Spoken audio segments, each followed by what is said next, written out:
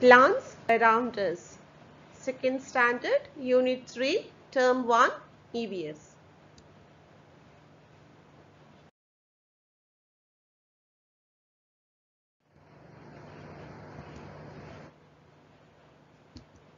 Here uh, we are going to start with parts of a plant. A group of students went on a field visit to a garden. Meena looked at a sapling closely and asked a teacher, one part of this plant is green while the other part is brown in color. Why it is so teacher? The teacher explained, our body has different parts such as hands, legs and head. In the same way, plants also have different parts.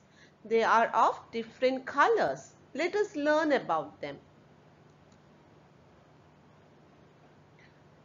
So look at the plant. What do you see? Can you guess what the different parts of the plant do? So this is uh, ex an exercise. So you can just uh, take a plant and show it to your child and uh, discuss it with the child the different parts okay so every plant has a root and a shoot system so what is a root system so the part of the plant that grows under the ground is called the root system and shoot system is the part of the plant that grows above the ground okay so the shoot system has stem leaf flower and fruit. So this also you can take a plant and show your child the root system. Uh, that means the roots which always grows under the ground and the uh, shoot system. The stem and the leaves and the flower which goes above the ground. So here we have uh, a plant and they have shown us the root system at the shoot system and then in the shoot system we have the leaf which go uh, which grows from the stem and most of the leaves are green in color and they make food for the plant then we have flower which is an attractive and colorful and it grows from the bud and it has a specific smell and it attracts birds and insect then we have fruit it develops from the flower some have seeds and most plants grow from the seed. And then we have the stem. It's the main part of the shoot system which gives support to the plant. And then we have the root which fixes the plant into the soil.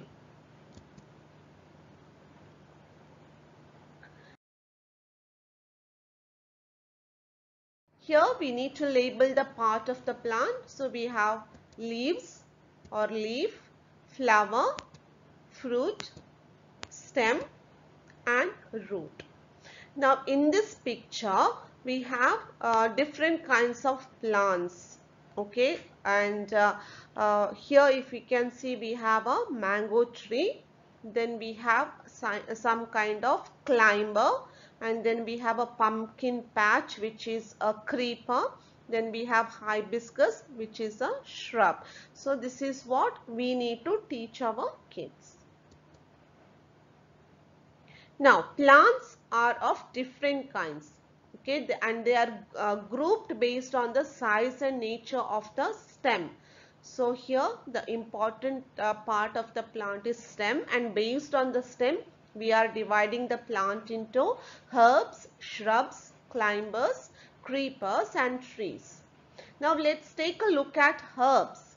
Now herbs are small plants with thin and soft stem and most of them live only for few months. Now examples are mint, coriander and grass.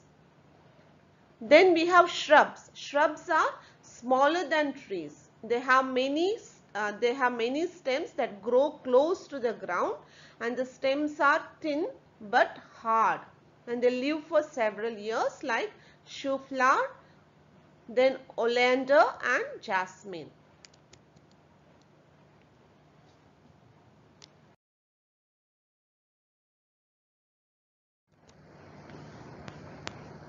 Then we have climbers.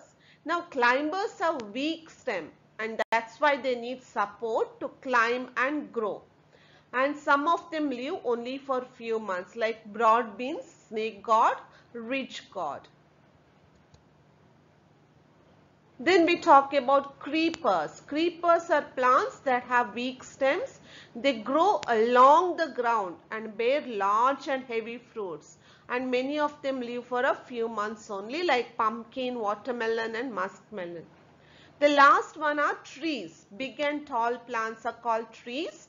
They have hard and thick woody stem and they are called trunks. Trees have many branches.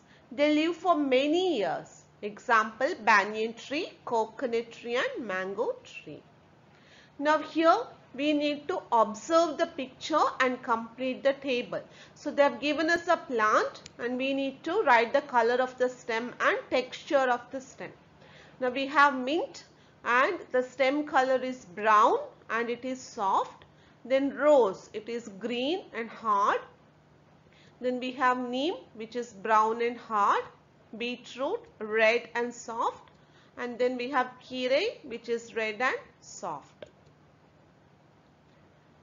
Now what are the benefits of plants? We get vegetables, fruits, cereals, pulses, spices, oil and medicines from trees, shrubs, herbs, climbers and creepers. Now vegetables like lady's finger, devil's fig and bottle gourd.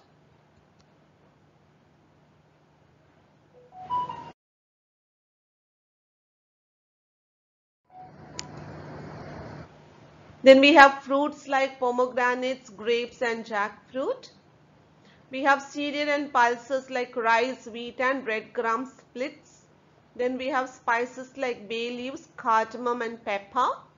Oil like coconut oil, castor oil and groundnut oil. Then we have medicines like stone from stonebreaker, climbing brinjal and eucalyptus. So these all we get from the plants. And as we know coconut oil is used both for cooking as well as hair oil. Now here we need to find the odd one and put a tick mark. So we have two fruits and the middle one is the odd one which is eucalyptus. Then we have uh, two types of oil. So the first one is the odd one. Then we have wheat and rice. So spice pepper is the odd one. Then have one fruit, jackfruit and the two other are vegetables. So jackfruit is the odd one.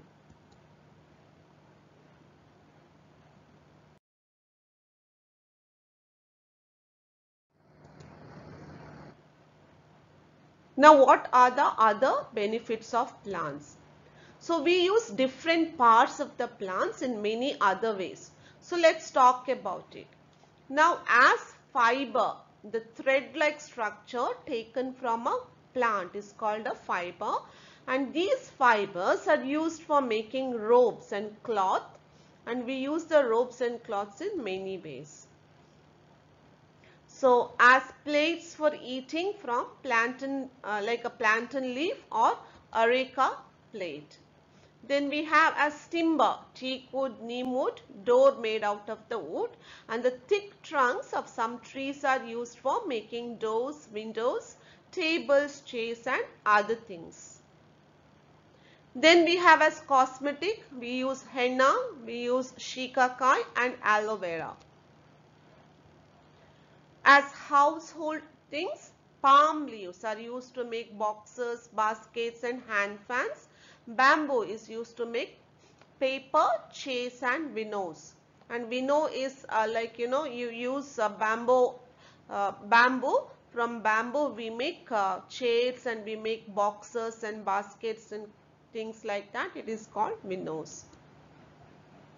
And these we have as ornamental plants, rose, croton and cactus.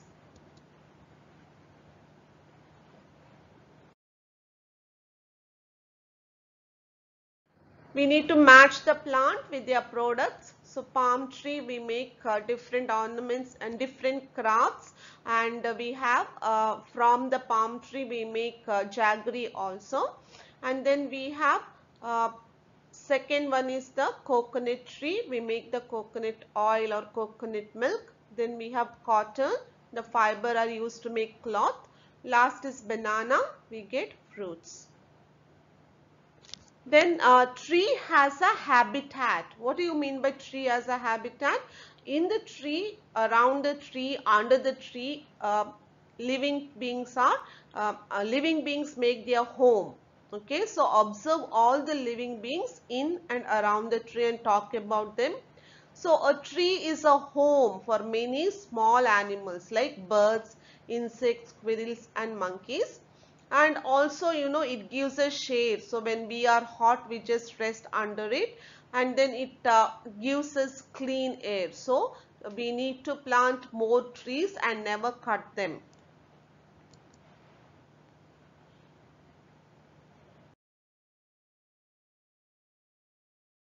Tick the animals that you see on the given tree. So here we have just ticked the animals who live on the tree like monkeys, squirrel, then we have crow, we have woodpecker.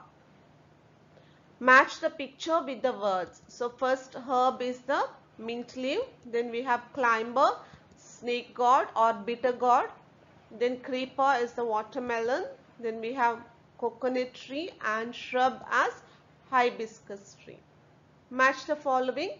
Pumpkin is a creeper, pepper, spice, neem tree, timber, grapes, climber, cotton, fiber. Fill in the blanks. The part of the plant that grows above the soil is called shoot system. The leaves are the green parts of a plant. Plates can be made from areca. Flowers grow from buds.